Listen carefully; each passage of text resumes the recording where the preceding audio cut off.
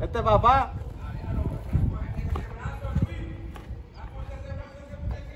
Yo creo que eso es un negocio, más un negocio que, que el desarrollo, porque los mandan para unos sitios bien difíciles y, y difícil para ellos superarse y lejos de la, de la familia y, y tienen montado un negocio, porque que se favorece la gente que los lleva. Fue bien difícil para mí superarlo. Pues me fue el muchacho para allá, de verdad. Yo lo llamaba y él me decía que estaba bien, estaba bien, no estaba bien, pasó hambre. Después yo me enteré a la larga que él pasó hambre. Y en un momento dado que vino aquí con muchas llaguitas en el cuerpo y todo, y yo decía que era ese. Que no puedo ni lavar la ropa, no tengo donde lavarla, no tengo nada.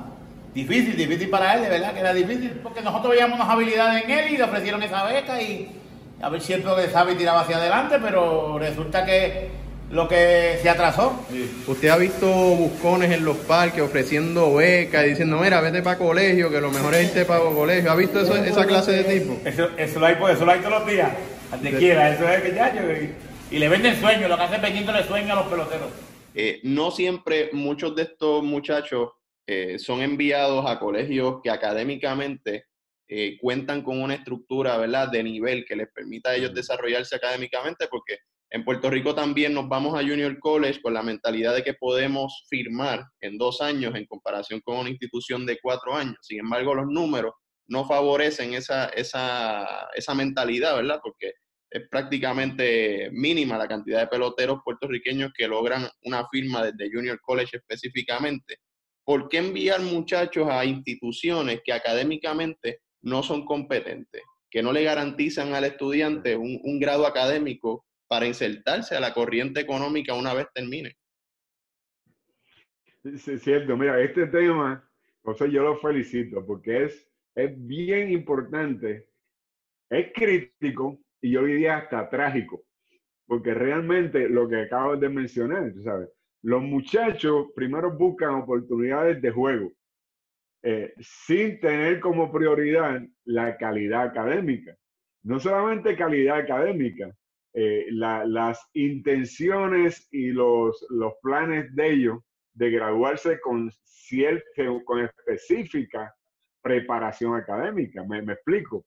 Aquellos que quieren eh, ser, eh, eh, irse por la línea de administración comercial eh, y entonces reciben una beca de un junior college que no necesariamente ofrece un buen programa de administración comercial, los muchachos entran por el mero hecho de que la beca fue ofrecida en esa institución. Muchos de ellos entran a esos junior college cuando no hay un programa de administración académica.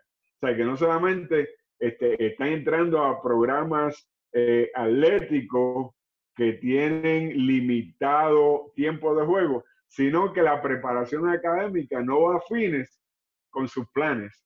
Eh, eh, y, y entonces terminan dos años en estos junior college y tienen unos créditos dos años académicamente perdidos. Eh, y o sea, que es, como te digo, es trágico lo que está sucediendo. Primero, por falta de orientación. Segundo, por falta de opciones a estos muchachos. Y, y tengo que, y, y tengo, no sé si me lo vas a preguntar eventualmente, pero considero y estoy o sea, 100% eh, eh, convencido que si la Liga Atlética Interuniversitaria de Puerto Rico, si el Departamento de Recreación y Deporte de Puerto Rico no toma carta en el asunto, esto va a ser trágico a nivel de, a nivel de desarrollo de atletas y estudiantes preparándose a- a- para el nivel profesional. Existen este, mercaderes, porque no eh, hay que decirle mercaderes, que se aprovechan de esta situación y esta desesperación de padres y, y- y niños sea, y jóvenes y les venden prácticamente sueños ofreciéndole por cierta cantidad de dinero una beca en estos junior college, o dicen universitaria, pero por la gran mayoría son junior college. Eh, y, y por el mero hecho de conseguir un contacto con un coach. Eh, y quisiera pues abundar un poquito más sobre eso. Mire, esto, eh, y esto donde quiera que voy lo explico. Eh, ahora mismo, ahora mismo, o sea, eh, si me das 10 minutos, yo puedo conseguir 10 becas de Junior College. Eso lo consigue cualquiera. Eso lo consigue cualquiera. Ahora la calidad y la, y la fortaleza de esa beca, lo productivo de esa beca, eso es lo que está en cuestionamiento. Este, y como tú dices, son, eh, son eh, personas, padres y jóvenes desesperados que ven en estos individuos que están vendiendo esos servicios un alivio y están, están viendo un, especialmente los padres, ven un hijo desesperado y pagan una cantidad de dinero que no es, que no es poca, son bastante la cantidad, son bastante la cantidad que tienen que pagar. Y entonces eh, se van convencidos de que le han conseguido una gran beca a sus hijos. Muchas veces, la gran mayoría de las veces, cuando esos muchachos van a esos junior college, el coach hasta se le ha olvidado que esos muchachos están en el programa. Te lo digo literalmente. O ellos llegan al aeropuerto y nadie los recoge cuando llaman al coach, el coach dice, pero ¿cuál es tu nombre? Y el muchacho ya está en el aeropuerto, en el estado que sea. Y dice, bueno, mi nombre es tal y tal. Y, entonces ellos tienen que, ah, sí, sí, ¿sabes? Y eso literalmente está pasando. O sea, no tienen ningún tipo de interés eh, que no sea financiero y, para, para, para esos muchachos.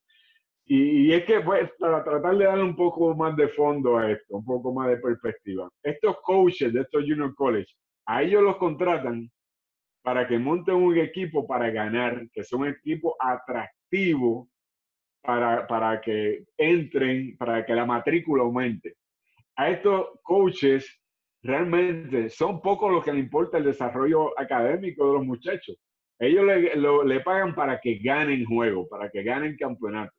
Si ellos no ganan, pues eh, realmente el, el, valor de ellos disminuye. O sea, el valor de ellos no es tratar de traer buena calidad académica y que los muchachos se gradúen de ese junior college.